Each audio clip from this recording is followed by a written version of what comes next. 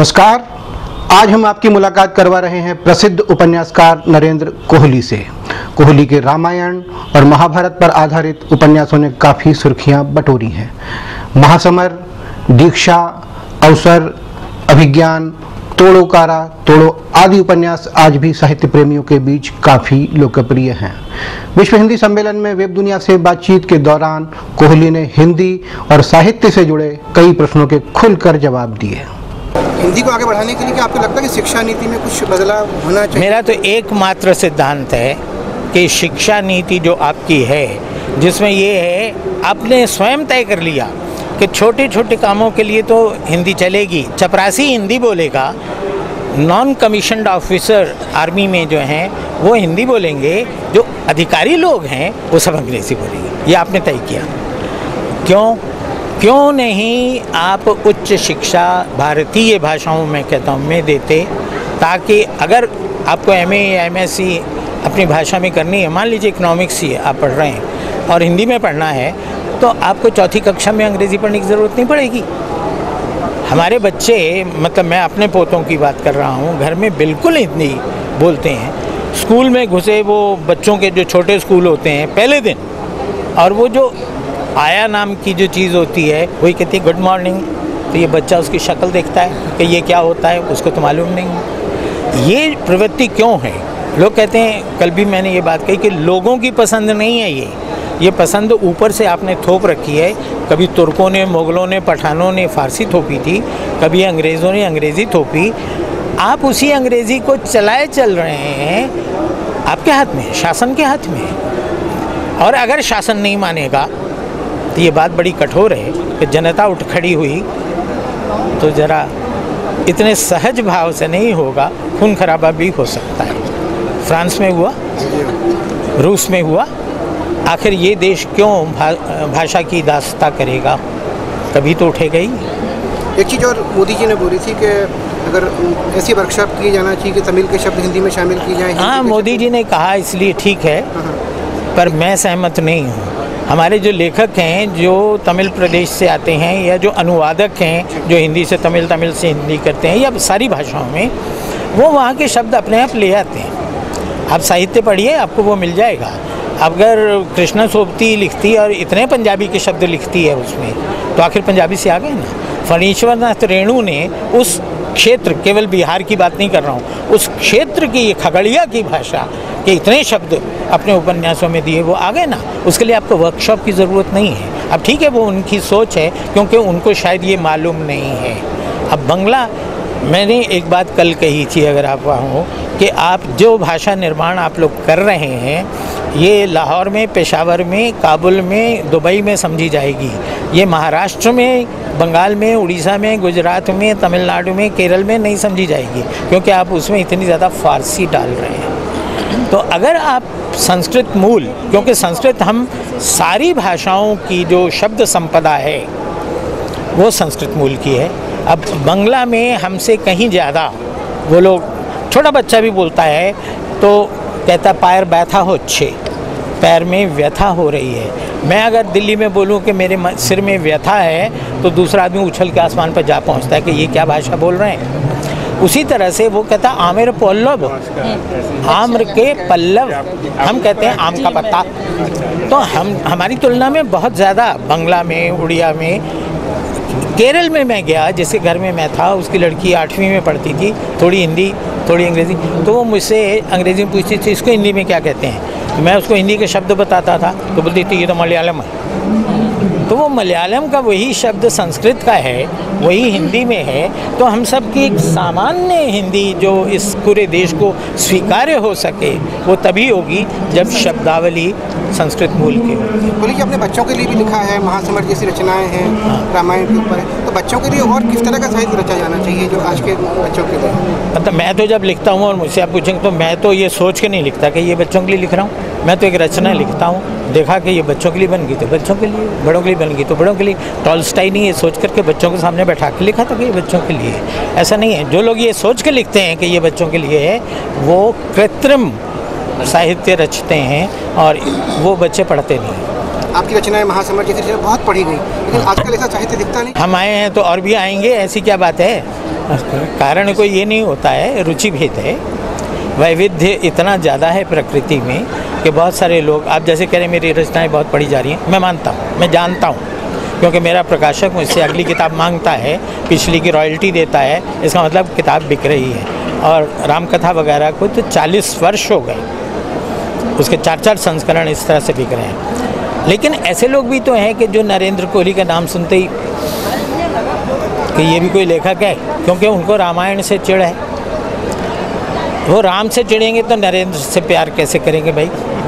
सीधी सी बात है। तो ये रुचि भेद है। मैं ये नहीं कहता हूँ कि मेरे शत्रु हैं। उनकी को समझ जो कुछ भी हमसे भिन्न हो गई तो हो गई। किसी कारण से हो गई, वो उसमें नहीं जा रहे। तो ये रुचि भेद जो है, उसके कारण लेखक भी अपनी अपनी मौलिकता अपने अपने व्यक्तित्व की मौलिकता लेकर आते हैं। सब एक जैसा लिखने लगेंगे तो तो अनुकरण होगा। नहीं एक जैसा नहीं लोगों को ज़्यादा पसंद आए वो ठीक है तो पौर- मैं जानता हूँ कि मेरे लिखने का मैंने आप इसको मेरी गर्वोक्ति ना माने ये स्वीकारोक्ति है कि पौराणिक उपन्यास अगर चतुर्सेन शास्त्री के व्यायाम रक्षामा के बाद मैंने ही लिखे। रामकथा किसी भाषा में उपन्यास के रूप में इतने बड़े उपन्यास के रूप में नहीं लिखी गई थी। मेरे बाद बहुत लोगों ने लिखा है। अब वो बेचारे नहीं उतने लोकप्रिय हो सके। पाठक लोग कहते हैं कि एक रोज़ मैं पुस्तक मेले में हिंद पॉकेट बुक्स के स्टॉल पे खड़ा था। तो वहाँ दो तीन लड़कियाँ, ऐसे छात्राएँ होंगी, वो भी देख रही थी किताब में खड़ा था। तो वो कुछ समझ गई और बोली कि आप नरेंद्र कोहली हैं? मैंने कहा हाँ। तो बोली कि आप इन लोगों को, यानी प्रकाशकों को बताते क्यों नहीं हैं कि आपकी किताबें जैसी होती हैं राम कुमार भ्रमर की नहीं होती? तो मैंने कहा कि ये आप बताइए इनको। मैं क्यों बताऊँ? मुझे तो जो लिखना मैंने लिख दिया। अब पाठक की प्रतिक्रिया प्रकाशक तक पहुँचे तो पहुँचा रहा है पाठक। यहाँ मुझे इतने लोग मिले हैं, वो कहते हैं कि हमने आपका ये पढ़ा, हमने आपका वो पढ़ा, किसी ने पढ़ा नहीं है, सुना ही है। लेकिन वो है। पर ये पाठक बोलता नहीं है। इसलिए हमारा जो आलोचक है, उसकी खोपड़ी में घुसता नहीं है। वो अपनी, उसी लीक पर चला जा रहा है, वो अपने आप को बदल नहीं रहा है। लेकिन प्रकाशक जानता है। मुझ पर अगर मैं आपको ये कहूँ तो थोड़ा आपको आश्चर्य भी हो सकता है कि लगभग 200 लोग शोध कर चुके हैं या कर रहे हैं। यहीं पर मुझे इतने मिले। कि विशाखापट्टनम से इससे पूछो। पूरा पूरा ग्रुप आया कि हम लोग कर रहे हैं? तमिलनाडु से तो शायद कोई नहीं मुझे मिला लेकिन बेंगलोर का एक पूरा ग्रुप था वो था। हरियाणा से है केरल से है सब जगह से। पूरे देश में इतने मुझे नहीं लगता कि किसी और जीवित लेखक पर इतने शोध ग्रंथ आए हों। तो ये जनता की पसंद है उसको आप रोक नहीं सकते हैं। ढाई सौ से ज़्यादा जो मर्ज़ी कर लें आलोचक। तो जैसा मैं हूँ मैं कोई अजूबा नहीं हूँ। और भी लेखक ऐसे आएँगे थोड़ी थोड़ी ये होता है कि समय के साथ, अब जैसे अमृतलाल नागर ने लिखा, जैसे हजारी प्रसाद द्विवेदी ने लिखा तो उन लोगों ने भी तो पुराण भी लिए, इतिहास भी लिया।